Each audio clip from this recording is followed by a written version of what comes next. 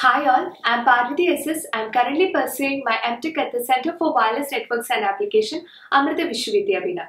Our course commenced at the initial phase of pandemic and I faced difficulties shifting to an online mode of education.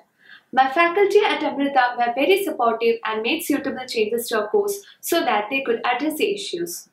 The courses at Amrita include both theory and lab sessions involving assignments relating to each of the topics that we learn. This teaching methodology has equipped me with industry relevant skills such as machine learning, blockchain, 5G, software defined networking, and Internet of Things. With this knowledge, I secured an internship at Applied Materials and a full time job at Doodleblue. The courses at Amrita like Amrita Values Program and Live-in-Labs opened me to a new perspective, making me more socially responsible. Through Amrita, I got an opportunity to work with the local communities of Chhattisgarh on designing an internet access strategy for reducing the digital divide impact on sustainable development.